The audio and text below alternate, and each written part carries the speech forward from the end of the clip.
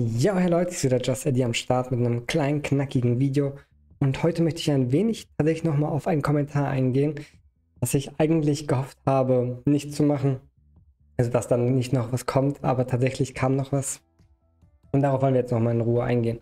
Und zwar geht es darum, einmal muss ich mich direkt entschuldigen an Manuel, den ich letztes Mal in meinem Short angesprochen hatte. Dabei war er es nicht selbst, sondern es war ein anderer Mosker an der Stelle nochmal Entschuldigung an äh, meinen guten alten Manuel. Ähm, ja, es kam trotzdem noch mein Kommentar zurück. Und zwar ähm, wurde gesagt, ist doch alles gut, macht, einen gut, macht eine gute Arbeit als Kritiker, der seine persönlichen Probleme mit einbezieht. Bin es nur ein wenig anders gewohnt von erfolgreichen Kritikern auf YouTube bzw. Twitch und so weiter, die es sachlich nehmen. So, darauf will ich ganz kurz eingehen, direkt schon mal. Und zwar das stimmt. Bestimmt sind viele erfolgreiche ähm, Kritiker, die es auf YouTube oder Twitch oder wo auch immer weit gebracht haben. Neutraler, sachlicher kann sein. Aber Kritik ist nicht immer sachlich und neutral, sondern Kritik hängt davon ab, was man damit erreichen möchte. Möchte man auf etwas appellieren, möchte man auf etwas hinweisen, möchte man etwas einfach nur informativ rüberbringen. Das äh, ist unterschiedlich und in meiner Kritik geht es gerade, gerade in meiner Kritik geht es ja da, da, darum, meine Meinung kundzutun und da ist es ganz wichtig, dass ich meine persönlichen Empfindungen und so weiter da reinbringe. Sonst wäre meine Kritik in dem Moment ja nicht die, die ich auch rüberbringen möchte. Und ähm, deswegen ist meine Kritik mit persönlichen Problemen einbezogen. Und jetzt kommen wir nämlich zum nächsten Punkt, und zwar vor allem, die sich immer wieder neu informieren und nicht auf Sachen vor zwölf Monaten rumreiten, da sie damit nicht klarkommen. Ähm, ja, da hast du recht, man sollte sich immer wieder neu informieren und das habe ich ja in dem Fall auch getan, dass ich nachgefragt habe, weil die Kritik bezog sich ja nicht auf die Person, sondern die Kritik bezog sich ja auf den Server. Und ich habe mich insofern informiert, ob diese Personen auf dem Server noch sind. Mir ging es nicht darum zu wissen, sind die Personen immer noch so vom Verhalten her, haben die sich verändert, haben die drüber nachgedacht. Das ist mir auch in dem Fall nicht wichtig, sondern mir war es wichtig zu wissen, sind diese Personen noch auf diesem Server. Das habe ich gemacht. Ich habe mich informiert. Hätte nämlich keinen Sinn gemacht, und da gebe ich dir nämlich vollkommen recht, den Server zu kritisieren, obwohl ich gar nicht weiß, ob diese Kritik überhaupt noch berechtigt ist, ob diese Leute überhaupt noch auf dem Server spielen oder nicht. Genau, und deswegen ähm, habe ich äh, mich informiert tatsächlich.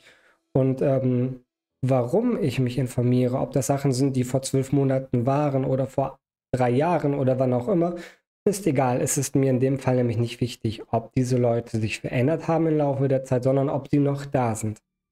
Ähm, jetzt steht da weiter noch, darum wünsche ich dir weiterhin viel Erfolg und werde mir deine Argumentation und Widersprüche genüsslich weiter reinziehen. Ähm, also klar, ich freue mich immer, wenn jemand mir zuschaut und auch mich kritik, äh, kritisiert und mir vielleicht auch konstruktive Kritik bringt. Hm, meine Widersprüche erkenne ich tatsächlich gar nicht. Ich habe noch überlegt, was könnten das für Widersprüche sein. Mir sind keine Widersprüche eingefallen oder aufgefallen.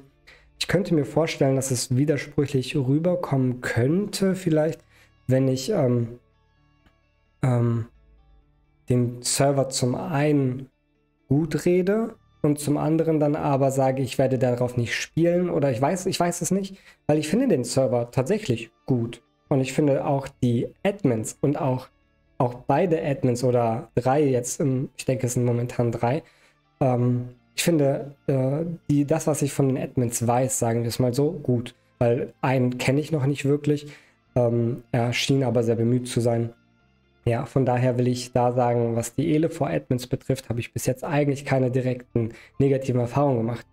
Jetzt in dem Fall, zum Beispiel in, dieser, in diesem Kommentar, die ich, diesen Kommentar, den ich hier bekommen habe, muss ich sagen, erkenne ich nicht viel ähm, Hand und Fuß. Also das, also ich bin jetzt gerade drauf eingegangen und habe eigentlich zu allem relativ sachlich was sagen können, meiner Meinung nach.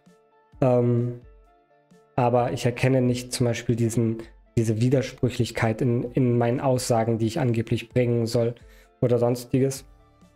Aber ansonsten würde ich trotzdem nichts gegen die Admins sagen. Also die Admins von äh, Elefor ähm, sind weiterhin in meinen Augen gute Leute. Und ähm, der Server an sich von den Features bringt auch sehr vieles Gutes mit sich.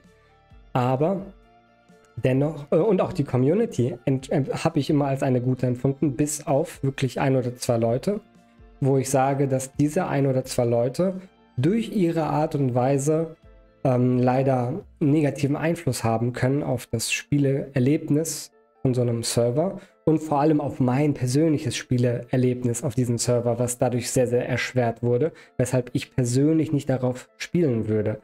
Aber auch da sage ich ganz deutlich, ich persönlich kann es da nicht genießen zu spielen, wenn diese Personen da sind. Und das ist ganz egal, ob die sich jetzt, ob die noch, ob die sich jetzt verändert haben oder nicht, darum geht es mir nicht. So, ne? Mir geht es nicht darum, jemanden zu verändern oder dafür zu sorgen, dass die über ihr Verhalten nachdenken oder sonst was.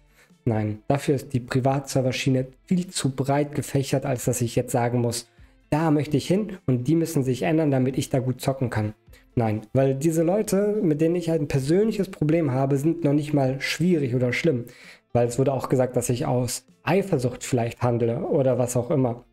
Ähm, das ist zwar alles nicht die Tatsache, also mir sind diese Personen insofern nicht wichtig gewesen, dass ich sage, boah, ich wollte so sein wie die oder die hatten mehr als ich und das hat mich gestört. So sehr bin ich ja gar nicht in dem Game drin und alle, die mich kennen und alle, die sehen, wie ich zocke und so weiter, wissen, dass mir sowas eigentlich am Ende des Tages sehr wenig wert ist, weil ich gar nicht diese Zeit habe, so viel da rein zu investieren, dass mir sowas wichtig sein könnte. Mir ging es nicht darum. Mir ging es um deren Spielverhalten auf dem Server und mir ging es darum, wie mit denen umgegangen werden kann und umgegangen wird. Und ähm, ich finde es schön, dass die Philosophie von Elefor eine so offenherzige ist. Aber wie ich schon mal gesagt habe, habe ich für mich die Erfahrung gemacht, dass da irgendwo auch eine Grenze ist und man irgendwie einen Weg finden muss, wie man sowas unterbinden kann. Und das hat mir damals da gefehlt. Und die Tatsache zu wissen, dass die immer noch da sind, reicht mir aus zu wissen, da möchte ich dann nicht so gerne hin. Das ist einfach so. Ähm, ich habe ja sogar nachgefragt, ob die noch da sind. Und nachdem ich erfahren habe, dass ähm, die zumindest wahrscheinlich nicht gekickt oder gebannt wurden, danach war es mir schon egal, ob die jetzt noch wirklich da sind oder nicht, weil es mir viel mehr darum ging, was ist denn, wie wurde der mit denen umgegangen?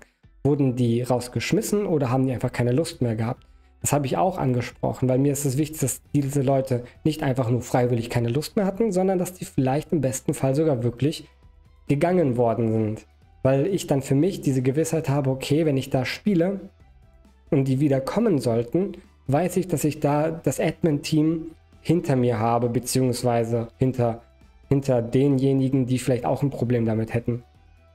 Genau.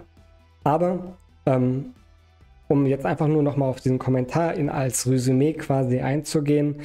Ähm, jeder Kritiker kritisiert auf seine Art und Weise, je nachdem, was er kritisieren möchte und warum er kritisieren möchte. Und mir ging es in meiner Kritik, die wirklich nur neben, in einem Nebensatz fast war, wo Elefor wirklich nur mit ganz wenigen Sätzen angesprochen wurde, ging es nicht um Elefor zu kritisieren, sondern es ging mir nur darum, dass der Server weiterhin leider für mich nicht in Frage kommt, weil gewisse Leute nicht so da aus dem Server entfernt wurden, wie ich es mir wünschen würde, um selber da glücklich sein zu können. Mehr nicht. Dass der Server gut ist, dass der Server coole Features hat, nette GMs, bestimmt auch einen großen Teil einer guten Community und so weiter, will ich gar nicht kritisieren. Dazu habe ich mich nicht mal geäußert. Aber um an der Stelle es jetzt mal betonen zu sagen, das halte ich alles als eine sehr große Stärke von dem Server. Ja, so viel dazu. Und ähm, genau, das ist meine Art der Kritik, die ich ausübe, wie ich Kritik ausübe. Und ähm, ich muss mich nicht über Dinge neu informieren, die mich damals gestört haben. Brauche ich nicht, brauche ich in diesem Fall nicht. Habe ich aber insofern gemacht, dass ich nachgefragt habe, ob gewisse Leute da noch sind oder nicht. Und meine Argumentation sehe ich nicht als widersprüchlich. Ich erkenne keine Widersprüche in meinen Argumenten. Bin aber natürlich offen dafür, dass man mir sagen kann, hier, da und da hast du dich widersprochen. Dann kann ich darauf vielleicht sogar eingehen und was dazu sagen und mich erklären oder mich gegebenenfalls auch entschuldigen. Genau. Ich hoffe, ich konnte damit, weil es wurde ja auch geschrieben, dass man sich das genüsslichst weiter reinziehen möchte. Ich hoffe, ich konnte damit genüsslichst ähm, äh, dir dafür sorgen, dass du dir genüsslichst das wieder reinziehen konntest.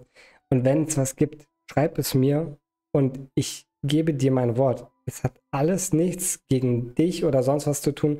Und wenn du, derjenige, der sich das gerade anguckt, die Leute, die kritisiert wurden, mag, eigentlich an sich mag, ja, dann sage ich auch damit nicht, dass das falsch ist oder dass das keine guten Leute sind oder so. Es sind nur Leute, mit denen ich nicht mehr spielen möchte, weil ich meine Erfahrung mit den Leuten gemacht habe und nicht machen muss. Und sogar einer von diesen beiden Menschen habe ich in, innerhalb der letzten Zeit immer wieder mitbekommen, auch auf anderen Privatservern, wo ich auch gesehen habe, diese Person ist immer noch genau so wie damals. Deswegen weiß ich, dass ich mit diesen Personen nicht spielen möchte. Und das hat, das ist nur mein, das ist so eine mega persönliche Kritik, was auch in Ordnung ist, weil persönliche Kritik darf es geben. Mit persönlicher Meinung, mit persönlicher Empfindung, mit, ja, das darf es, das darf es geben, das gibt es. Es gibt unterschiedliche Kritiken. Naja, genau, so viel dazu. Ich war jetzt hier in diesem Video gerade sehr offen und sehr ehrlich, würde ich sagen. Ich wollte erst einen Short machen und habe dann gemerkt, ich schaffe es in dieser einen Minute nicht das rüberzubringen, was ich eigentlich rüberbringen möchte. Und ähm, ich hoffe, ich konnte das jetzt ein bisschen deutlicher machen oder verständlicher machen. Und ähm, ja, bin offen für neue Kritik. Alles klar, bis dann, Freunde. Ich freue mich schon, weil bleibt auf YouTube bitte schön aktiv weiter bei mir. Ich äh, bringe immer mal ein paar Umfragen und freue mich demnächst vielleicht mit euch äh, ein neues Projekt zu starten.